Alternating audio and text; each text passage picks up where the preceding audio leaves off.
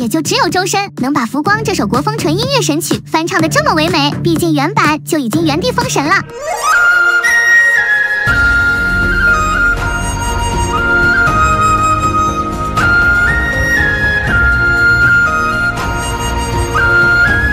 但是等周深一开口，我才明白什么叫仙气飘飘。难怪都说周深把自己唱成了华夏掌管音乐的神。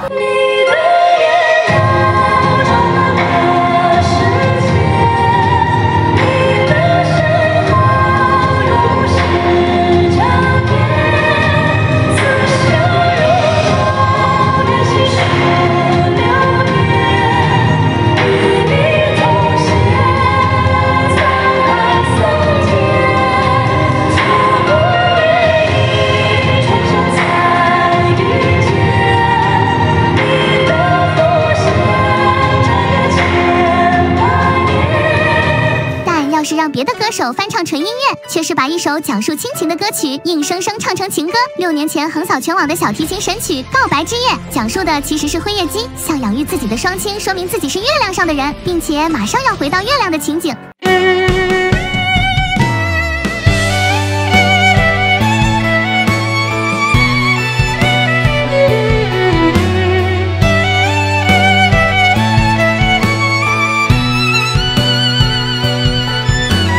被国内的网红歌手翻唱后，瞬间就失去了原版的意境。让月光随我吟唱，伴我流浪来爱这颗孤独的心脏。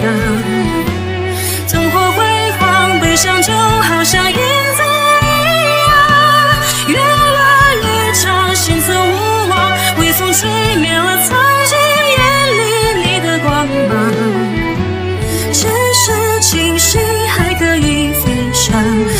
将会是我一生都念念不忘的远方还有这首充满日式风情的《夜萤火虫与你》，一听到就让人想起宫崎骏的电影。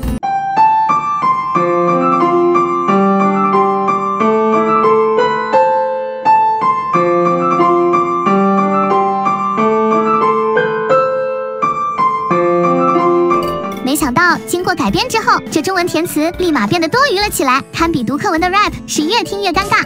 多想把你忘掉，每天睡不好觉。其实你不知道，你一直多重要。想做彼此依靠，每天说说笑笑，看你扬起嘴角，烦恼通通跑掉。没有你的浮躁，我也会有烦恼。你开始的冷傲，注定无法到老。你说过我很好，却不是你想要。天黑路多寂寥，一切都是。